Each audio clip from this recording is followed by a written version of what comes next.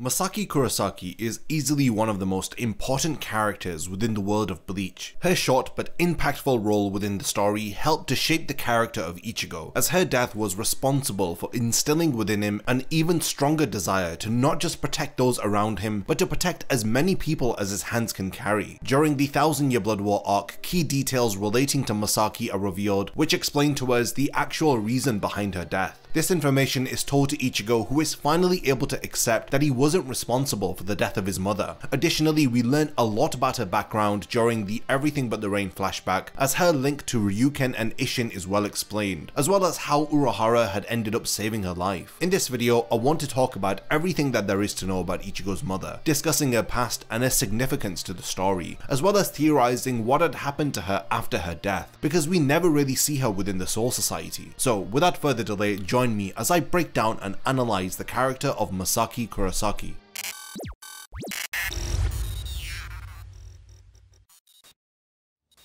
New legends will be born as we give a massive thank you to the sponsor of this video, Bloodline Heroes of Lithas. This is a card-based role-playing game that features an amazing 3D art style that brings the game to life via the easy-to-use controls on your vertically orientated handheld screens. Now the best part is that it's free to play now on Android and iOS. You can customize your champions by marrying different bloodlines until you find the perfect combination of abilities that fits your own unique gameplay style. Bloodline has just had a huge update introducing us to a new mode called Guild War Valley of Conquerors, where you claim prizes with your guild members in order to create new and unique legendary hybrid champions. Play with your friends now to form legendary hybrid champions, like the rare champion Scarlet, created by combining demigods and vampires. She is available for free as long as you beat your enemies. The new update also introduces us to the Lycan clan, the most destructive champions in the game. You can combine this new bloodline with existing champions to create stronger hybrids. For a limited time you can receive your own Lycan champion called Gultung by participating in the Christmas event that's beginning on the 22nd of December. You just have to download the game now using my link in the description or by scanning the QR code you see on screen. By using my link in the description, you will receive a free Lycan clan champion Gultung and $20 worth of other items including 100,000 gold, 100 diamonds, and 3 stamina points. So what are you waiting for? Use my link in the description and forge your own legacy. Masaki makes her debut appearance within chapter 1 of the manga and incidentally in episode 1 of the anime. Her most notable feature is a long wavy brown hair as well as her brown eyes that Ichigo ends up inheriting. At the start of Bleach, we are made to appreciate just how much her passing has impacted the Kurosaki family. In the first chapter, we see that Isshin has a huge memorial poster of his late wife in their home, with the phrase Masaki Forever written at the top of it. We see him speaking to the poster as he asks his wife for advice from time to time about how to handle their growing children. In chapter 19, Ichigo had described his mother to be the center of their family. They all had literally revolved around her. So after her passing, an irreplaceable void was formed, which had affected all of them. We are able to truly appreciate the impact of losing Masaki when we follow the family during one of their annual visits to Masaki's grave. Karin and Yuzu were fairly young when their mother had died, but in chapter 19, we see how losing their mother had affected both of them. Yuzu is seen to be crying as Karin comforts her. We understand immediately that Karin sets aside her feelings to be there for her sister, despite the fact that she must also be hurting. Yuzu had assumed a lot of the household duties like cooking and cleaning, while similar to Ichigo, Karin had turned inward and instead had suppressed her feelings for the sake of being stronger for those around her. Isshin often jokingly speaks about how he has to play the role of both parents, but you can see that he hides the pain of her loss by constantly cracking jokes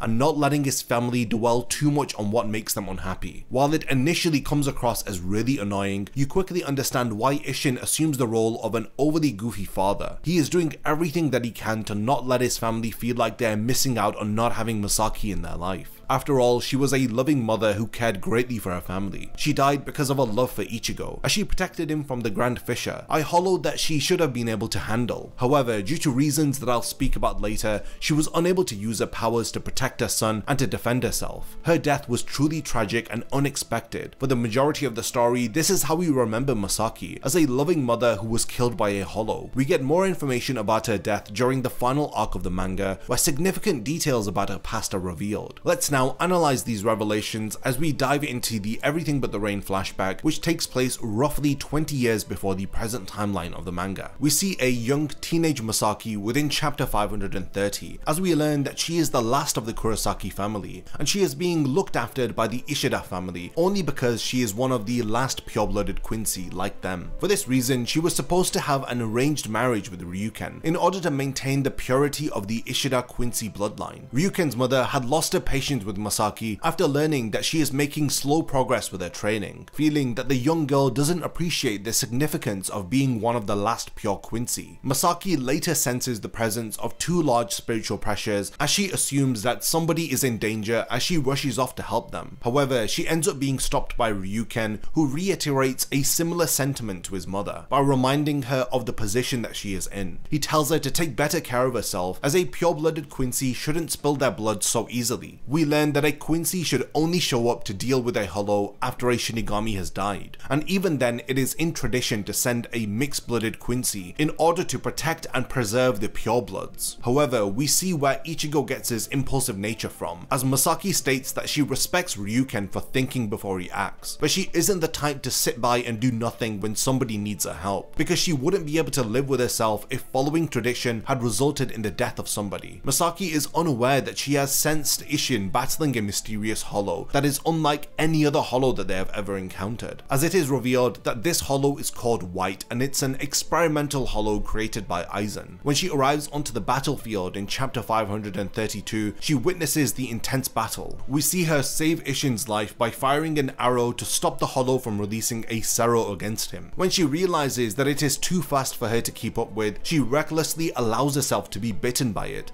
in order to fire an arrow at point blank range through its head. The hollow white self-destructs, but luckily Isshin had shielded her from the explosion, as Masaki appears to be unscathed after the whole ordeal. She feels pretty bad that he had hurt himself in order to protect her, but Isshin is just glad that he could repay the favor after she had arrived to help him. Isshin is more surprised that this human girl was able to defeat a powerful hollow like that, as she introduces herself to him stating that she is a Quincy. He is surprised by this revelation, and even Masaki looks very apprehensive, but Isshin diffuses the tension by stating that he has never seen a Quincy in person before, reassuring her that he feels lucky to have finally met one. Masaki is affected by Isshin's warm-hearted response. Clearly, she has been raised to dislike Shinigami, but she wonders if all Shinigami are like him, because then that would mean that the other surviving Quincy would have nothing to worry about, because the Shinigami are not as bad as they all think. After the encounter, Isshin had returned to the Soul Society, explaining to the head captain why he had gone to the world of the living without authorization. He is commended for acting swiftly and minimizing the casualties and damage to the world of the living, but he purposefully doesn't mention in his report that he had met a Quincy. This is in order to protect Masaki, because at the time amongst the Shinigami, there were only unreliable rumors relating to the existence of any surviving Quincy following their extermination 200 years ago. Meanwhile, Masaki wonders if Isshin had got back to the Soul Society safely, hoping that he isn't punished for his actions. Isshin, on the other hand, is surprised by Masaki as he appreciates it would have taken a lot for to rescue a Shinigami. And not only that, but to also identify herself as a Quincy, who historically have always feuded with the Shinigami. At the end of chapter 533, while Masaki is walking back from school with her friends, she suddenly starts to feel faint, but Mr. Perfect Timing Kisuke Urahara was conveniently walking past her at the time. He realizes that something is wrong with the girl, who quickly composes herself, reassuring her friends that she is fine before continuing to walk home. Later in the evening, Masaki is confronted by Ryuken's mother, who is upset that she had acted against the Quincy tradition, but the young girl ends up collapsing in pain during this conversation. This is when Ryuken and his mother spot the hollow hole that is forming on her chest. Now, if you recall, she is actually exhibiting very similar symptoms to the Vizards when they were hollowified by Aizen during the Turn Back the Pendulum arc. Ryuken carrying her in his arms rushes out of their home when he ends up bumping into Isshin, who he argues with, stating that he is to blame for Masaki's current condition, is because she had gotten involved with him by saving his life from that hollow. Urahara then appears revealing that there is no time to waste if they wish to save Masaki. At the start of chapter 535, we see a visualization of Masaki's inner world, where she appears to be sinking and being consumed by the hollow white, which is now inside of her. Ever since Urahara was exiled from the Soul Society, he has focused his efforts in order to better understanding hollowification, thus explaining how he was able to immediately identify Masaki's symptoms from earlier in the day when she had felt faint while walking past him. Hollowification was first invented as a method to strengthen Shinigami, but they were unable to control the hollowified Shinigami. Urahara is more concerned with the fact that Masaki is a Quincy who is undergoing hollowification, because it is a process that was only intended to be used on Shinigami. Urahara makes sure to emphasize that Masaki will never return to being who she once was. He can only save a life, but when hollowification happens, the soul and the hollow become mixed, and the individual transforms into an uncontrollable monster, losing all sense of sanity. Eventually, the boundary between the soul and the outside world ends up being destroyed, and the soul loses its balance,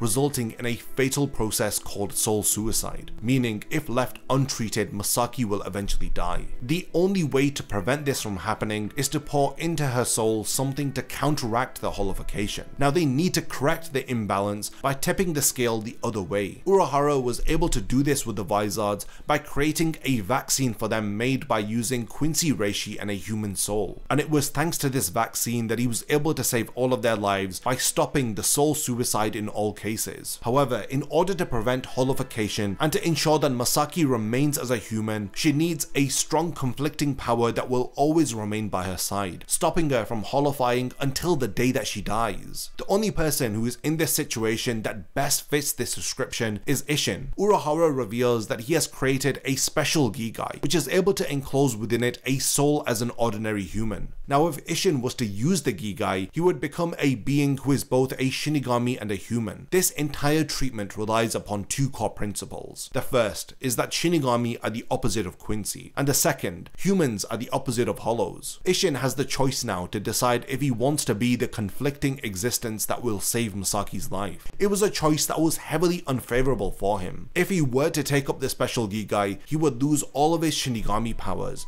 as well as not being able to see hollows anymore. And lastly, he won't be able to become a Shinigami again in the future. For the Gigai to work as a vaccine, Masaki's soul and the hollow inside her need to be tied together with Reishi, using an incredibly strong string. While tied, Isshin will not be able to leave his Gigai until the hollow inside her is free from the string, which will only happen if she dies. Isshin selflessly agrees to quit being a Shinigami in order to protect Masaki for the rest of her life. He decides to do this because he owes his life to her. She didn't hesitate to help a Shinigami despite all of the preconceptions that she must have had about Shinigami while growing up. Isshin, similar to Masaki, states that he would not be able to live with himself if he had let somebody that he owes his life to just die, all because he has some doubts about losing his powers and not being able to return to the Soul Society. Isshin saves Masaki as Urahara successfully tethers their souls to each other. Sometime following this, after Masaki had graduated from school, she had left the Ishida family and had started to attend university while visiting Isshin regularly, who ends up revealing to her that he was exiled from the Soul Society. The two of course end up getting married and have three children. Chapter 19 reveals to us what had happened 9 years ago on the night that Masaki was killed. While walking home with a young Ichigo, they had encountered a hollow called the Grand Fisher, a being who specializes in devouring humans with high spiritual pressure. He does so by altering his lure into the faces of those who he has devoured. At this time, Ichigo was unable to distinguish between a soul and a human, so when he had seen the Grand Fisher's lure taking the shape of a little girl, he had assumed that she was about to jump into the river. Without thinking, he rushes to help her, but Masaki realizes that it's a trap and rushes after her son. Ordinarily, she would have been able to handle a hollow like the Grand Fisher by simply using her Quincy powers, but in chapter 537, we learn that she was unable to use her abilities because Yhwach had performed Auswählen, having stolen the Quincy power from all mixed-blooded Quincy, and this includes Masaki who was tainted by the Hollow White. She was powerless and unable to fight back as she died protecting her son. Like I mentioned earlier, Ichigo and his family visit their mother's grave every year on the anniversary of her death. Isshin even reveals that he smokes on this day in front of her grave because Masaki had first complimented him after seeing him smoking, saying that he looked really cool. Tatsuki describes how Ichigo had handled the death of his mother in chapter 18, describing how he had felt responsible for it. He was really attached to her and he would always stop crying whenever she was around. In chapter 188, we learned that even Isshin had felt responsible for Masaki's death when he states that he was not able to get there in time to protect her from the Hollow. In chapter 25, Ichigo asks his father about why nobody blames him for her death. Isshin scoffs at this idea, as he states that the woman that he had loved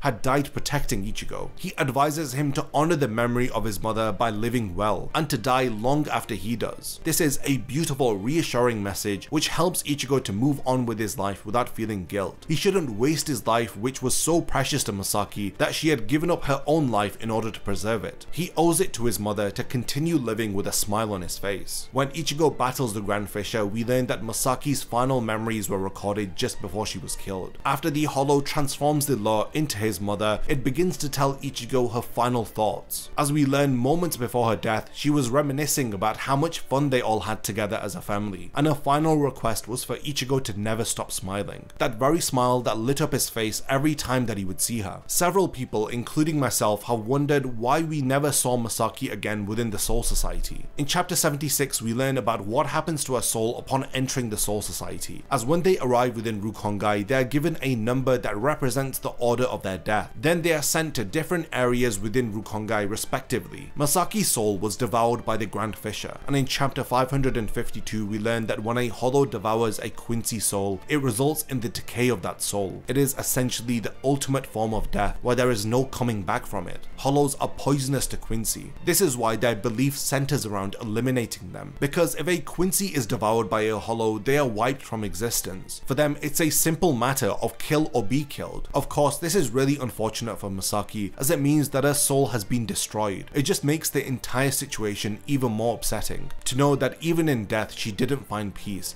and she is now lost a dark void of nothingness. So what did you think about the character of Masaki Kurosaki? I know that this isn't the most upbeat Bleach topic to discuss, but it is a core aspect to the story, as Masaki's character was the missing link which really helped us to better understand Ichigo's powers following the Everything But The Rain flashback. I really can't wait to read all of your thoughts on this character, and was there anything that I'd mentioned about Masaki's character that you didn't know or you hadn't linked together before? And as always, if there was anything that I failed to mention, then definitely let me know by continuing the discussion in the comments. And lastly, thank you for making it to the end of this video, and I can't wait to see you in my next Bleach Explained video. If you enjoy my content, then you can support my channel through Patreon for as little as a dollar a month, or even through YouTube by becoming a channel member. You will gain access to exclusive channel perks and a Discord server which I frequently use. So become a member of my Zero Division and be the first to know about my upcoming videos. And once again, thank you for sticking around till the end of the video and whatever you contribute will mean a lot to me.